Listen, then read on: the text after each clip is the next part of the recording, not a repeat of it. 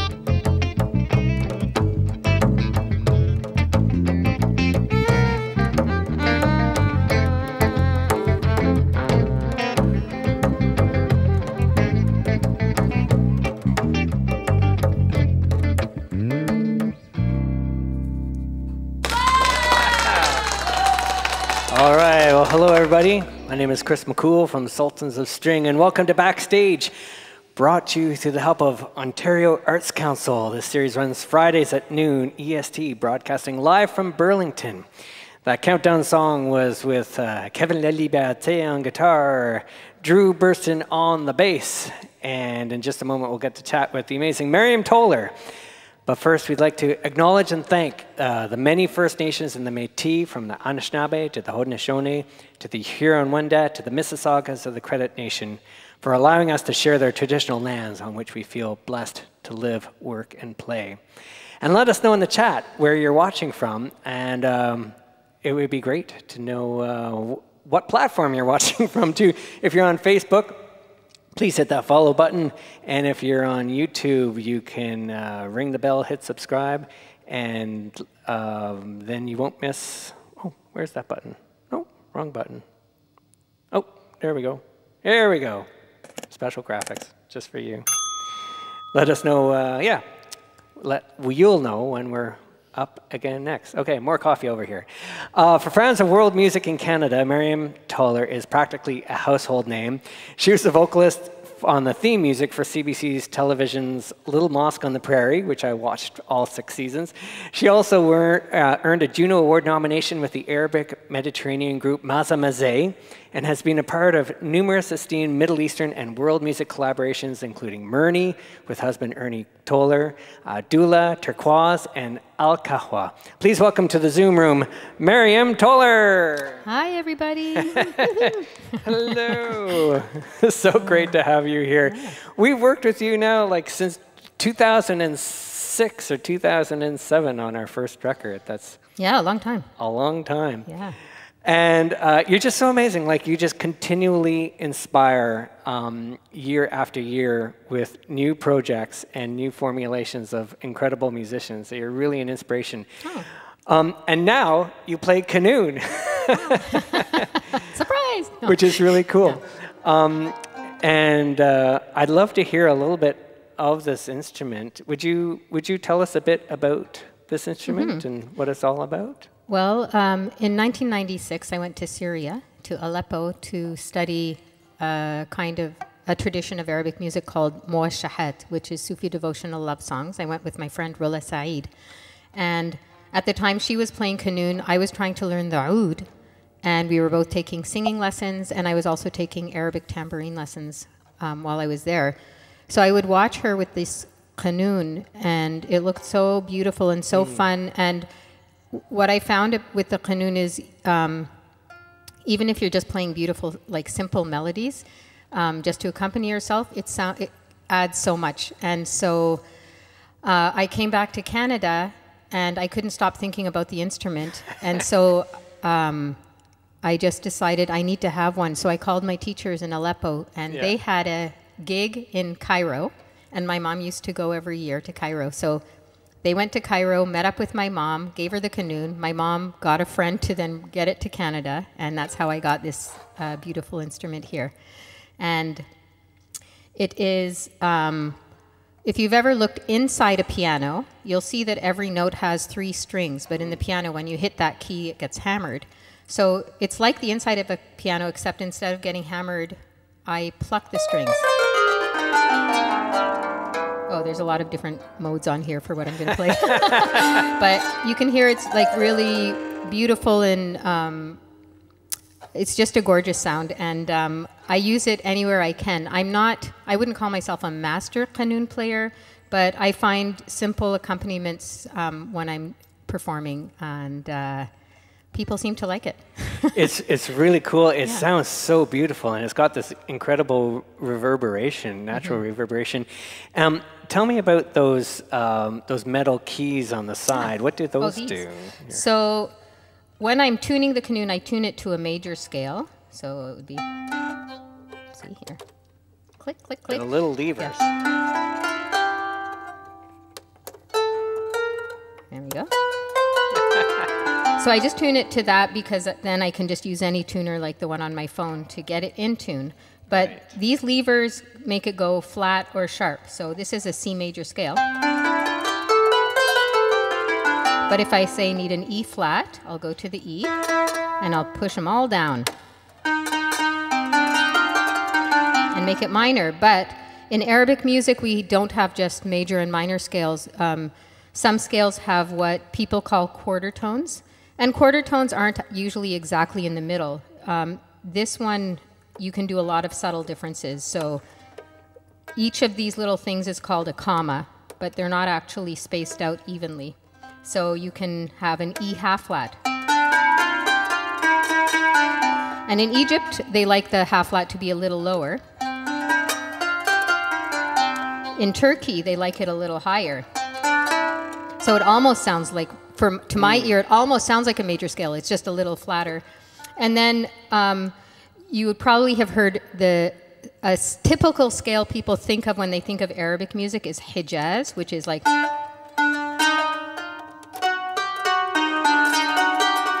And my Arabic uh, music teachers call that Hollywood Hijaz because it's just a flat, a D flat, and an um, wait, an E flat and an F sharp.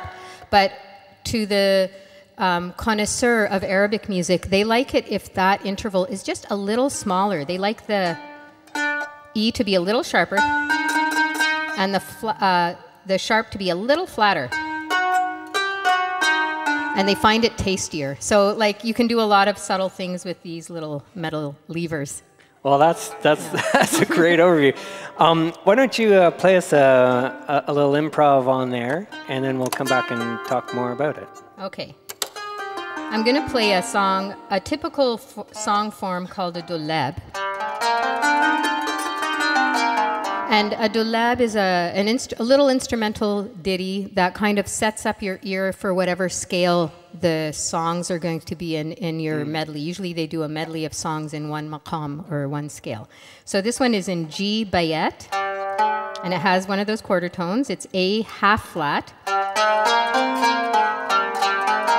and uh, this is how it goes. And I'm going to ask uh, Kevin and Drew if they want to, if they feel like joining in, they can right do a little uh, rhythmic thing for me.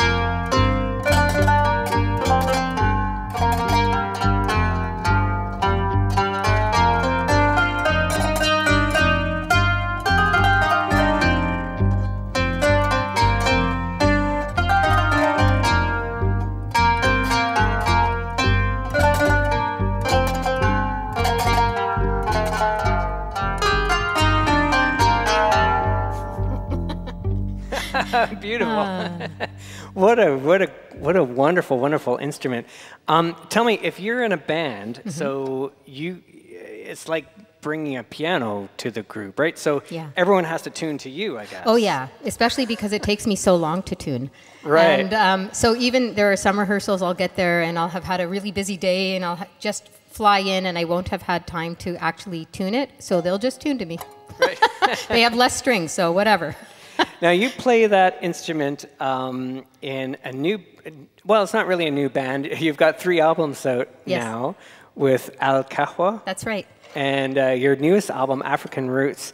Um, oh, here's here's the band, and we know all these lovely people. Um, there's Ernie, your husband, and Demetrios on oud, and Naghmeh Farahmand, who's on backstage next week, next Friday. And this is the new album, African Roots, and it's really beautiful because you can hear all the flavors. Um, from all these wonderful Toronto players who have come here from around the globe, which is such a great thing about Toronto. So, in addition to the regular band members, you've got Walid Abdul Hamid, who's Yes. going to be on backstage end of the month, and Fethi Najim on Kora, and Rula Saeed doing zills and dance. Um, tell me about this project. It's um, you have so many different uh, formulations. How did you come up with this particular group of musicians, and what are you trying to tell through this band?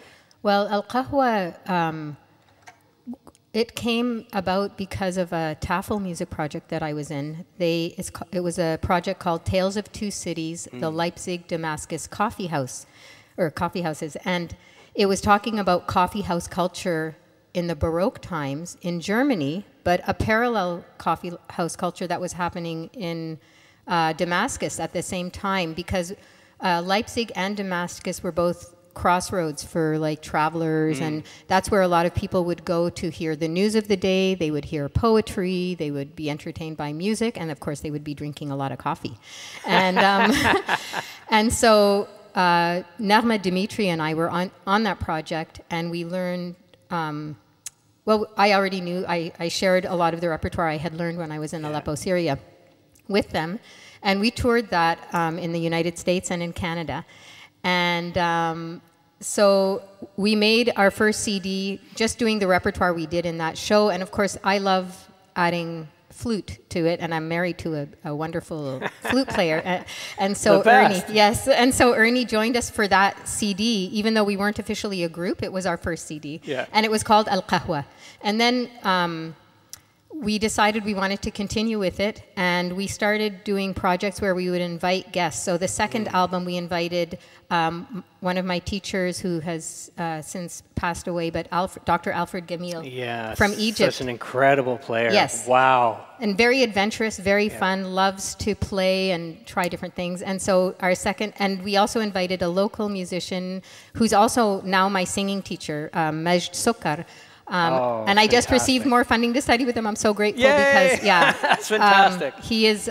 We're very lucky in Toronto. We have Oh, amazing people. Embarrassment of riches. Yes. eh?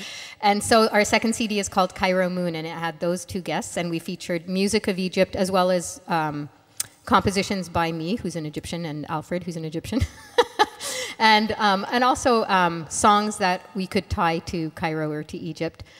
And then our last album is the one that you mentioned, African Roots. And that one, uh, we called it that because Walid is from Sudan, I'm from Egypt, and um, Fethi is from Algeria.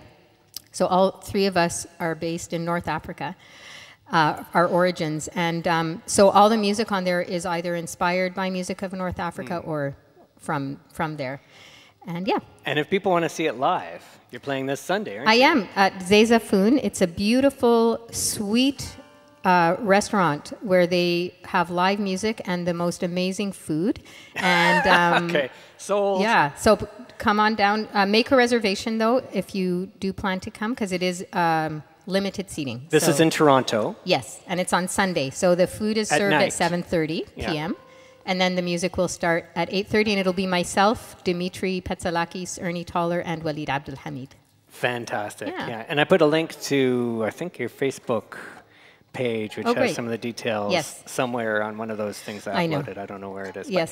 Let's play another song. Okay. there was a Sufi devotional love song you were playing earlier when you were warming up. Could you tell us a little bit about this? Yes. So, what, like I said, I went to Syria in 1996 to learn this style of music, and this is a song that I learned while I was there. It's called Zaran al Mahbub, which means the beloved visited me. And um, I like with my arrangements, I actually don't usually do very traditional ones. So, the arrangement you're going to hear is not at all traditional. Um, I just come up with these kind of trancy ways of playing that I think go very well with the style because the whole idea of these uh, songs is the poetry and the rhythm um, is very hypnotic and gets you out of your earthly body and into the zone of uh, connecting with the beloved. And this has a particular scale. Remind us what the Oh, yes. scale is. This is um, called uh, Hijaz Kar, um, which is.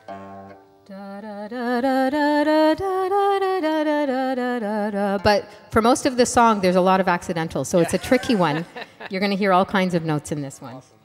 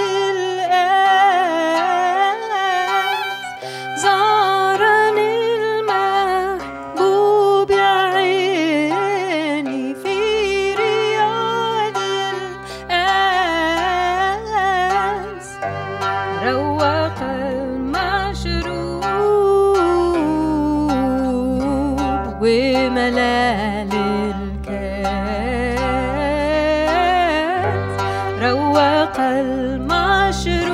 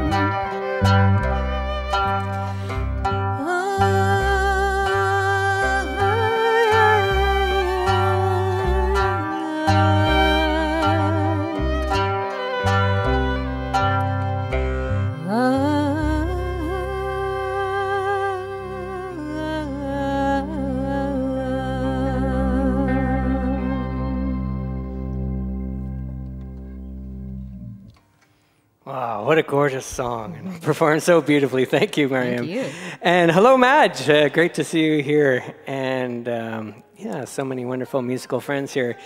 Um, now, I'm going to take this out a little bit to left field. Um, there's a kind of an interesting side project that you do with Rula. Why don't I play? I'll play 60 seconds of this clip and then All we'll right. talk about it. Okay. When it's Christmas time and there's so much snow and you got no place to go. All the shops are closed, you got a red, red nose, and you don't want to catch a cold or COVID. You see the city so bright, it's like the Broadway lights, and you get some inspiration. Christmas blues, they make it better right away, cause they know what to do, they just sing Christmas carols written by Jews. When you're used to the heat. That is so awesome. Like Yeah. everything about it I love. I know. Me too. The accents, the video. Tell us about that. Like, how did this come about? I, I know, like, I was watching all the videos around the holiday season, just laughing Yeah. my butt off. Well, um, it actually started when um, COVID hit and we were all just in lockdowns and just hanging out in our houses. Rula and I live in the same house, and we often um, joke around, and we're both of Arab origin. I'm from Egypt, she's from Palestine, and um, we often talk in Arabic accents, like just imitating our parents, and you know, and sometimes we get into such a flow it's hard not to talk, talk in an Arabic accent when I'm talking to her. and so we would go on these walks during the pandemic and just notice things and observe things. And we'd be talking in these accents and then we'd crack ourselves up and make ourselves laugh our heads off. So then we started saying, oh, that's good. That's good. We got to videotape that. And so we, we started videotaping ourselves, like Yeah. little one minute, two minute videos, just observing things and then posting them. And it got a really good response. People Yeah. were like, oh my God, I need more of that because everybody was bored. And, Yeah. um, and um, more and more people were like, make a YouTube channel. You got to, you know, do something more with Yeah. this. And Rula, um, for a long time, before it, FAUC even began, which is the Friggin Arab Orchestra Company, that's a, what our group what is, our duo, group. our comedy Yeah. duo is. Um, sh- she had the idea, because she is married to David Buchbinder, who is um, a very well-known Jewish performer and um, started Ashkenaz Festival. And she always thought, oh, it's so interesting. I think it was from him that she found out all these Christmas carols because her family is Christian. Yeah. Uh, were written by Jewish composers, and she always thought, "Oh, there- they, we should have a song called "Arab Ladies Sing Christmas Carols," written by Jews, to take Yeah. it one step further." And then we were inspired, and so I wrote a verse, she wrote a verse, we put it together. Um, David arranged the song. Uh, our kids played on it, Yoshka and Yeah. Lila. You know, it became a kind of family band. Ernie was in it. You know, what? I, I hope it explodes. I hope that it gets really huge. Oh, thanks. Because it's just so much fun. It's got a little bit of um, um, like the, the banter. It's got a little bit of the Bob and Doug McKenzie. Oh yeah, yeah, totally. right? Was that kind of an maybe maybe all of us in Canada have that? Yeah, we definitely have that. We definitely have you that. can't get away with. Yes. Um, so, Maryem, I have to say that on a personal level, you've been very inspirational to me. That you know, when creating this band, Sultans of String, with Kevin and Drew, like bands like Maza were really like super, super influential.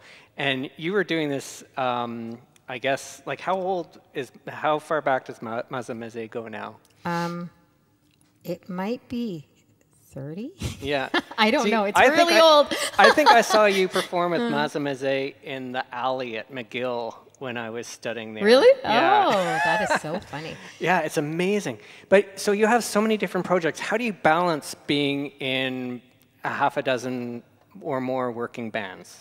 Um, well, part of it is I love all kinds of music, and I have so many ideas, and I want to do them all. And often, what happens is um, I can't like. It would be a very weird group if it had all the different kinds of Right. music that I like to perform. So, in a way, I need the different projects um, because different repertoire Right. fits in to the different Yeah. things I do. And um, so, yeah, Maza Mezé started just from a group of us who were taking Arabic singing lessons with Yeah. our teacher, Dr. George Sawa Yeah. in Toronto. Amazing And then we're like, we should too. play this somewhere. People would really like it. Yeah. so, um, but yeah, I just keep having new ones. Like I have a new group now with uh, Walid and Ernie and my friend. Her name is Shamima Soni called Lua. Whoa, I don't even know about I know one. it's a brand new group, and um, it's awesome. But- I love it so okay, much. Okay, so but I'm Yeah. confused. So you've got Al Qahwa Yes. and this new one Lua Yeah, and Turkwaz. and so Fauk. and Fauk. so so how do you like how do you find time to put energy in it? Like just on uh, for me, what I did uh, in my own life is Yes. like instead of splitting myself into so we've created this kind of open architecture with our band Sultans of String so we can work with all kinds of people. Yeah.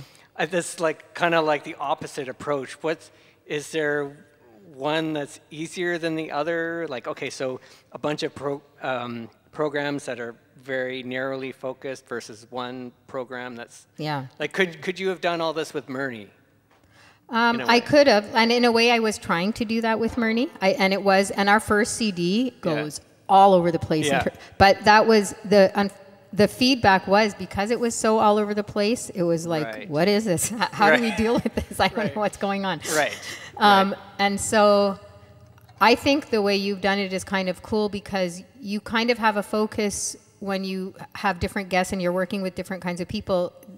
It is a very huge range of music that you're doing, but it can be focused on a theme, like in a way, like your um, Refuge album, for instance. It's a theme, but there are so many people from so many different places. You can be very open. So, but there's something that ties it all together. Yeah, yeah, so I couldn't figure out like a a way to do that. Yeah. And I don't think I'm as organized as you. Well, you're because you're doing other you're ten different bands, but not only that, not only that, but now you're a very in-demand actor. Well, I don't know if I'm an in-demand actor, but Well, I booked. am You're booked. acting, and I'm You're very booked. excited. Yeah.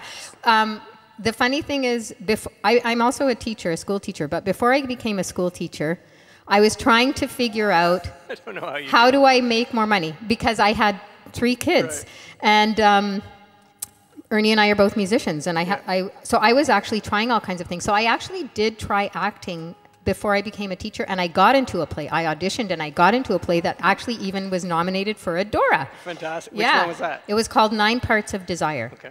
And um, so that was very fun and terrifying. Um, but so I, but I did have it in me. And in high school, I did used to act. I was in like the performing arts sh- um, classes and everything. But this came along because um, a few years ago, I got a call from Alisa Palmer. She's a director at the National Theatre School, saying, um, asking if I would be in a workshop of. Um, uh, you, you may have heard of the book Fall on Your Knees by Ann-Marie MacDonald. Fantastic, If you're from my generation, you definitely have heard of Right. it. Like, and Lebanese heritage. yes. you know oh, about yeah. it. And? Canadian, Yeah. all of that. Everything. And she actually won an Order of Canada, I believe, a Yeah. couple of years ago, too. But anyway, so when she asked me to be a part of that as a musician to workshop some music because they wanted to do a stage adaptation of that book. And i was like oh my god yes yes and i was so excited and um, and we did two workshop performances and got it to a point where they were able to show it to um, important people i guess in the theater world. And it got the go ahead to take it to the next level and uh, make it a stage play that's going to be touring from coast to coast. And then covid hit so that put a slowed things down, but in a way it gave it time to uh, gel a bit more because I know that during COVID they worked on just the script and really refining it and getting it to a really good point. And then about it might have been about a year ago now I got a call because I thought, oh, I don't know if I'm even in the project anymore. but I got a call um, and the, Alisa said, I want to talk to you about your involvement in the project. And she asked me to audition for a part. And I was like, oh my God, because I actually thought I should audition for a part, but I never thought I, I would never dare say that Oh. because I'm not an actor. And but Which when she- part? so uh, the book is based in the East Coast, and there's Yeah. an Arab family, Yeah. and then there's this um, uh, an East Coast guy from like Scottish origins or whatever, and he's Yeah. young, he's 17, and he's a piano tuner, and he tunes the piano in this Arab family's house, and the young daughter and him fall in love, and I'm the mother of that young daughter. So wait, wait, wait. Are you doing this in your folk accent? I'm not gonna do it in the folk accent. If I do it with an accent, it's gonna be a real accent, yani. I'm not gonna try to make people laugh from my talking, yani. Uh, on that note, here, let's play another song. Sure.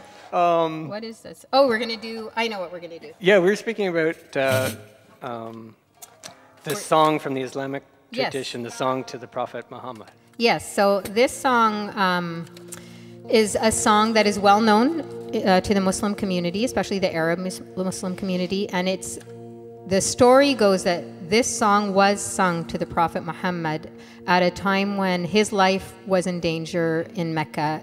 He uh, he was being threatened, and they were sure he would be killed actually if he stayed.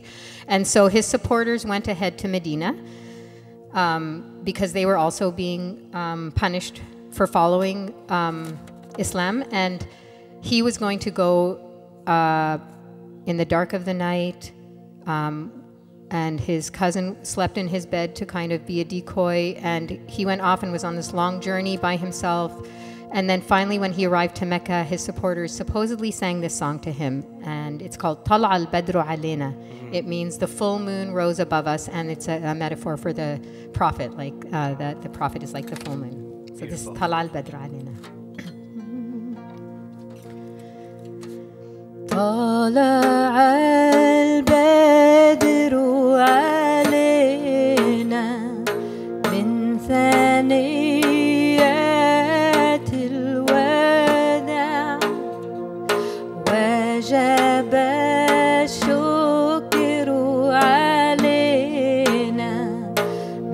ما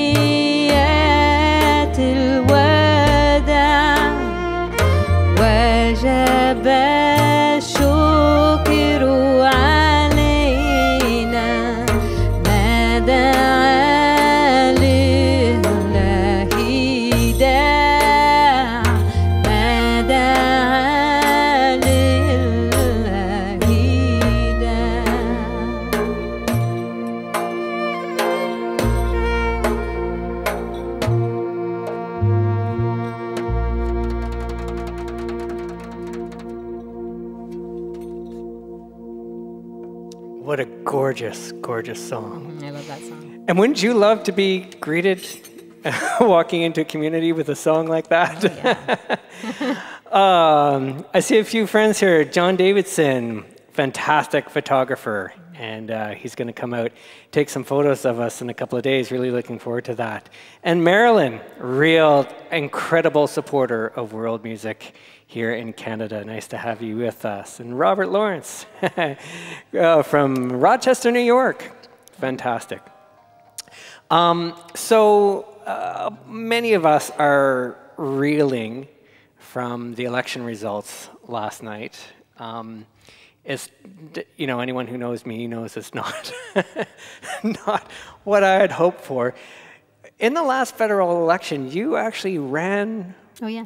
for you, you were in the running Yes. for the Greens on Danforth. That's right. I'm I'm just I'm fascinated by that. So, what um, what propelled you to run for election, and what was that experience like as a musician, someone who's already a public figure and a teacher, and you- you know a lot of how the world is put together. Mm-hmm. You're a very worldly person. So, so what did it mean to you to run in that election? And, and Well, um, I really feel strongly about the fact that the number one issue that should be concerning every single person in this whole planet is the environment and taking care of it. And so, even before I ran, I started actually voting green in every election.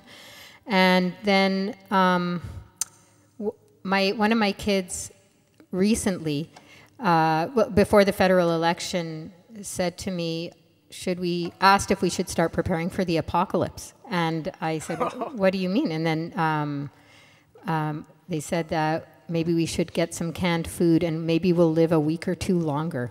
And I was like, "Oh my gosh, okay, I have to do more than just vote green," and um, it really affected me, and so. I decided to put myself forward um, because um, I think the Green Party is a great party, and yes, I know in the federal election there was a lot of problems and PR problems, but um, I tried to focus on what the number one thing is about everybody who's a part of the Green Party, which is they all care so deeply and passionately about the environment, and so that's and I feel like that is the only party that puts it number absolutely number one and there's things I like about different parties, but I it's the only one I felt I could go in with and be really feel really good about. And so I tried to actually be the representative in my own riding. Mm. I didn't win the nomination contest, but I had gone through all the vetting and everything. Yeah. And then the election was called so quickly. Normally, the Greens like to try to have somebody in every single riding in the country. So Danforth was looking for somebody, mm. and I was already vetted, and so it's my riding place. association, and I taught there, and so I yeah. don't want to just run in a place I have no connection with. But I felt I have a connection with that community. Yeah. I've taught in that community. I go there regularly, and um, because I have lots of friends who live there, and so it was a great experience. Not enough time. Yeah. Not enough planning on my part, but I did the best I could. Well, congratulations. Yeah. I mean, that's a tough slog to, yes. to run. And thank you for doing that. It's an amazing public service. Will you do it again? Will you run again? I may. Like um, things are actually, as things are opening up again, getting very busy uh, with my art, and so I'm excited to be doing that. And of course, I preach. Like anybody who yeah. asks, i will you know try to help out the green cause. But um, if I run again, it'll probably not be for a few years. Yeah. well, it won't be another. What is it? Three and a half years yeah, anyway, so yeah, exactly. who knows? Yeah. um, I guess, um, is there anything else um, that you wanted to share of what, what's coming up for you? Do you have any gigs coming up with Turkwaz? Oh, I do actually. Um, we have a very exciting concert coming up. Um, we received funding again before COVID happened Amazing. to do three special concerts because we have uh, we mainly do Turkish music, Arabic music, and Greek music, and then all of us also have a, a love of Balkan repertoire, mm. Balkan vocal music repertoire. And so we just, we got funding to do a series of three concerts. Mm-hmm. And we've done one already um, with this wonderful newcomer from, uh, he isn't Canadian, uh, he's Macedonian, but he's in Canada at the moment, Nizo Alimov.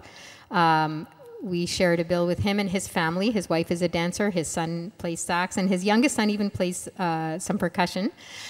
And our second concert's coming up, and it's going to be at the Tranzac with Moneka Arabic Jazz. Fantastic. Yeah. A double bill. A double bill our and favorite Turkwaz. Musicians. Oh yeah, and yeah. we're learning some Iraqi songs with Ahmed right now, yeah. and we're loving it. It's and it's going to be an amazing night. I already know it's going to be totally amazing. All right. So look for that on your Facebook. June 23rd. Yeah. Yeah. Fantastic.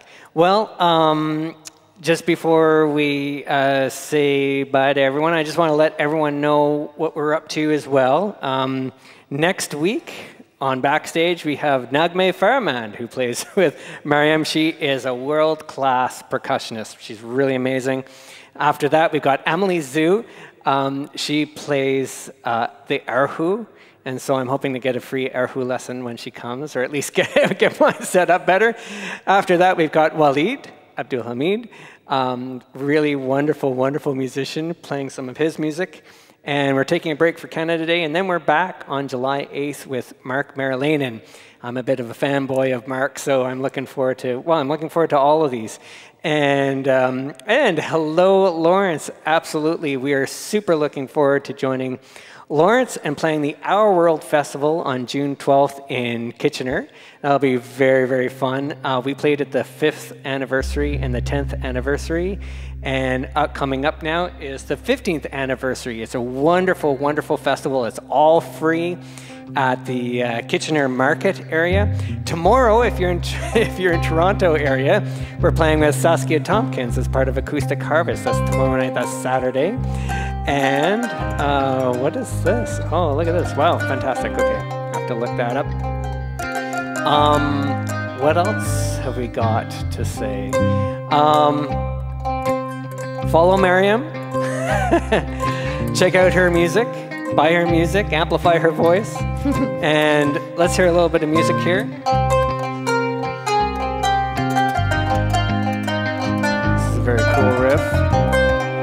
Thank you all for tuning in. Don't forget to hit like and subscribe. Thanks, Nicole. Always great to see you here.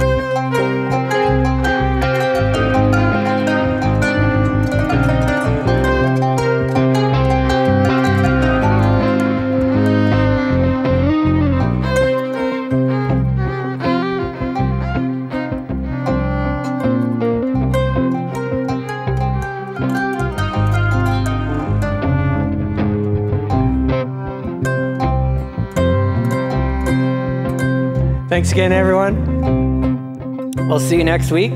Take good care of each other.